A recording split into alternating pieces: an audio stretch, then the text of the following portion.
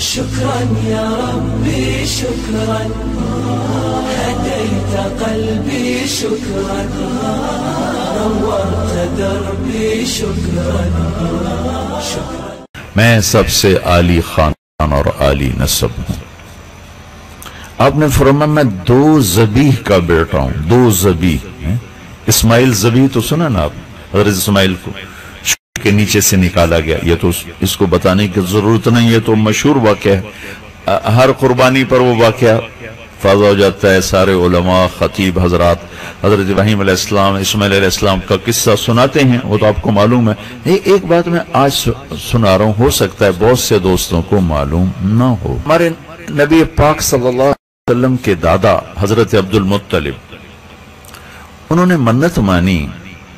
کہ اگر اللہ نے مجھے دس بیٹے دیے نا، تو میں ایک کو اللہ کے نام پہ ضبط کروں گا۔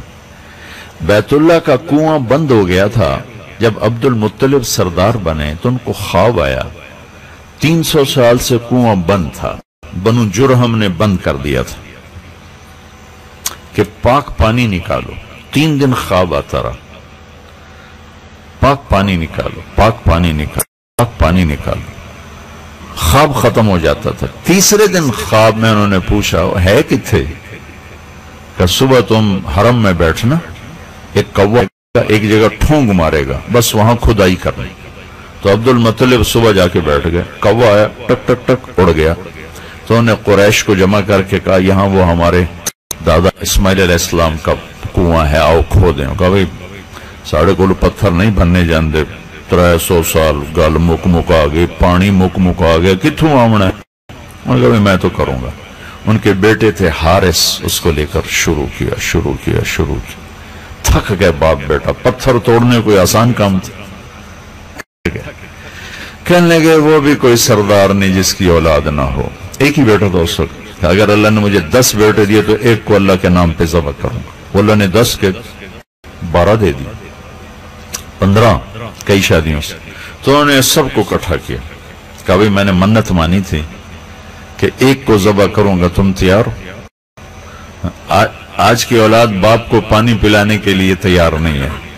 اور وہ اسلام کی روشنی نہیں ہے۔ اور بیٹوں نے کہا کہ پہ ہاتھ رکھو گے؟ ذبح ہونے کو تیار۔ ذبح ہونے کو۔ کہنے، نہیں، میں انصاف کروں گا، میں پرچی ڈالوں گا۔ تو سب کے نام لے کر جو پرچی ڈالی تو حضرت عبد- عبداللہ کا نام نکلا۔ ہے، ہمارے نبی کے والد۔ اچھا حضرت عبداللہ عبد المطلب کو سب سے زیادہ پسند محبوب، لیکن سرداری آن اس کا ہاتھ پکڑ لیا۔ چل۔ تو مکے میں شور مچ گئے۔ کہ یہ تو نہیں ہوگا، یہ ظلم تو نہیں ہوگا۔ تو ایک عرب سردار تھا، اس کا ایمان تو نصیب ہوا بعد میں آس بن وائل۔ اس نے کہا عبد المطلب یہ ظلم ہم نہیں ہونے دیں گے۔ اولاد ذبح کرنا اپنی منت کا کفارہ کر۔ اولاد نہیں ذبح ہوگی۔ عبد المطلب فرمانے لگے، میں سردار ہوں، مجھے اپنے پانی دینا ہے۔ آس نے کہا تو میں کہڑے کوئی کمی ہے، میں بھی سردار ہوں۔ میں یہ نہیں ہونے دوں گا۔ لہذا میں سارا مکہ ایک طرف، اکیلے عبد المطلب ایک طرف۔ تو اچھا بھائی قطبہ کاہن جو فیصلہ کرے گی، اس زمانے میں پنچایتیں تھیں۔ جس میں بعض شوب دباز جادوگر قسم کے لوگ ہوتے تھے، عورتیں بھی، مرد بھی۔ وہ جو فیصلہ کرے گی ہمیں قبول ہے۔ تو ساری پریں وہاں پہنچ گئے۔ تو اس نے کہا، تمہارے یہاں جب کوئی آدمی قتل ہوتا ہے تو اس کا معاوضہ کتنا ہے؟ تو انہوں نے کہا، دس اونٹ اس کا معاوضہ ہے۔ اچھا آپ لوگ ایسا کرو، ایک پرچی پہ لکھو، عبداللہ اور ایک پہ لکھو دس اونٹ، پھر کورا ڈالو۔ اگر عبداللہ کا نام نکلے تو دس اور بڑھا دو۔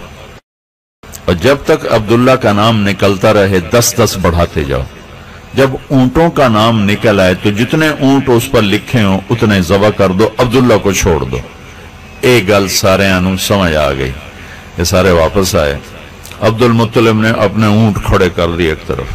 سورا مکہ کٹھا پرچی ڈالی، عبداللہ، دس اونٹ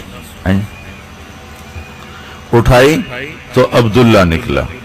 تو انہوں نے، اور دس دس اونٹ تو پہلے ایک طرف کھڑے کیے ہوئے تھے۔ تو انہوں نے بیس ادھر کھڑے کر دیے، اور یہاں لکھا بیس اونٹ عبداللہ۔ پرچی ڈالی، تو پھر نکلا عبداللہ۔ تو انہوں نے مٹا کے تیس اور ادھر دس اونٹ اور جمع کر دی پھر پرچی ڈالی، پھر عبداللہ، پھر چالیس کر دیے۔ پھر پرچی، پھر وہ قرآ ڈالا، پھر عبداللہ تو پچاس کر دی۔ اب سب کے دل اٹھ اوپر کو جا، سارے پریشان کہ عبداللہ ہی عبداللہ نکل رہا ہے خیر ہو انشاءاللہ پھر پرچیاں ڈالی، عبداللہ تو پچاس کر دی۔ پھر پرچی ڈالی عبداللہ ساٹھ کر دیے۔ پھر پرچی ڈالی، عبداللہ ستر کر دیے۔ پھر پرچی ڈالی عبداللہ تو اسی کر دیے پھر پرچی ڈالی عبداللہ نوے کر دیے پھر پرچی ڈالی عبداللہ سو کر دی. اب سو اونٹ اور عبداللہ. اب جو پرچی ڈالی تو عبداللہ کی بجائے سو اونٹ کی پرچی نکل آئی. تو قریش نے نارا مارا لبی کم بن گیا بس. تو عبد المطلف فرمانے لگے، نہیں، ہو سکتا ہے اتفاق سے ہو، میں ایک دفعہ اور کروں گا. دوبارہ ڈالی پھر اٹھائی تو سو اونٹ۔ کہنے کہ ہون ٹھیک ہے، نہیں، ایک باری اور کرنا۔ پھر تیسری دفعہ پرچی ڈالی تو نکلا سو اونٹ۔ تو عبد المطلب نے سو اونٹ صفا پہاڑ کے نیچے خود ذبح کیے، تقسیم کیے اور ہمارے نبی پاک صلی اللہ علیہ وسلم کے والد ماجد کو اللہ نے آزادی دی۔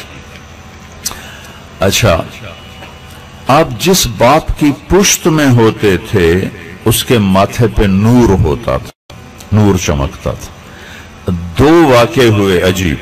حضرت ہاشم عبد المطلب کے والد۔ یہ میں انفسکم کی کی شرح کر رہا ہوں کہ سب سے عالی خاندان ہے میرے اور آپ کے نبی کا۔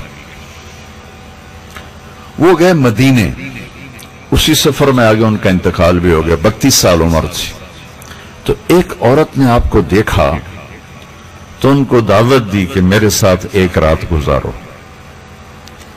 تو وہ کہنے لگے کہ بی عزت دار شریف ہوں، میں یہ گناہ نہیں کر سکتا۔ وہاں انہوں نے شادی کی۔ ایک عورت سے سلمہ بنو نجار۔ شادی کے دو تین دن بعد بازار سے گزرے تو وہ عورت آگے سے آ رہی تھی۔ تو اس کو روک کر فرمانے لگے تو مجھے گناہ کی دعوت دیتی تھی تو شادی کر لو۔ تو اس نے آپ کے ماتھے کو ایسے دیکھا، کہنے لگی، ہاشم، میں بھی عزت دار ہوں، کوئی بازاری عورت نہیں ہوں۔ تیرے ماتھے پر آخری نبی کا نور نظر آیا تھا۔ تو میری جی میں آیا کہ یہ میرے پیٹ میں آ جائے، پر وہ تو سلمہ لے گئی، اب مجھے کوئی ضرورت نہیں۔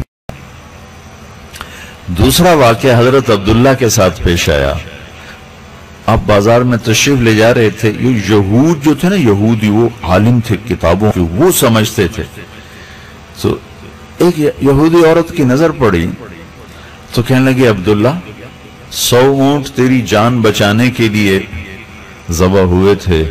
سو اونٹ میں دیتی ہوں۔ ایک رات میرے ساتھ گزار لے، میں سو اونٹ دیتی ہوں۔ سو اونٹ۔ عورت کہہ رہی، ایک رات میرے ساتھ گزار، سو اونٹ دوں۔ تو انہوں نے فرمایا کہ وہ اپنے دادے والی بات، میں بی بی میں عزت دار ہوں، سردار ہوں، میں یہ گناہ نہیں کر سکتا۔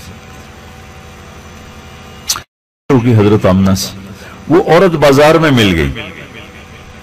پھر آپ نے دادے والی بات کہی کہ تو مجھے گناہ کا کیوں کہتی ہے؟ شادی کیوں نہیں کرتی؟